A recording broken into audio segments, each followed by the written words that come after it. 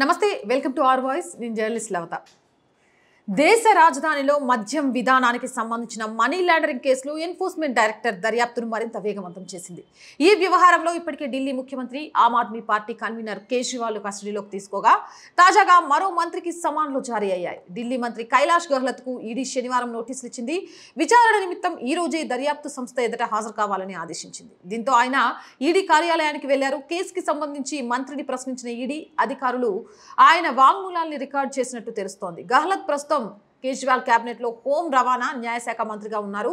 మద్యం విధానంపై ముసాయిదాను తయారు చేసే సమయంలో అప్పటి ఆప్ కమ్యూనికేషన్ ఇన్ఛార్జ్ విజయ్ నాయర్ గెహ్లత్ అధికారిక నివాసాన్ని వినియోగించుకున్నట్లు ఆరోపణలు ఉన్నాయి.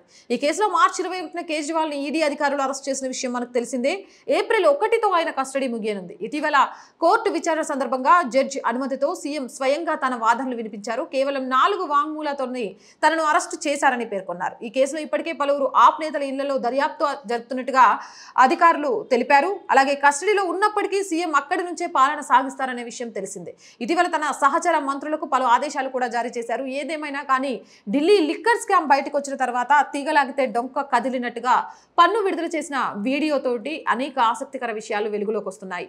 ఆప్ అనేది మేక వన్నిన పులిలాగా అవినీతిని చీపిరికట్టతో తుడిచేస్తామని చెప్పి ఒక ముసుగు పన్ని ఈరోజు దేశ విధ్వంసానికి కారణమయ్యే కార్యక్రమాలకు కూడా శ్రీకారం చుట్టిందా?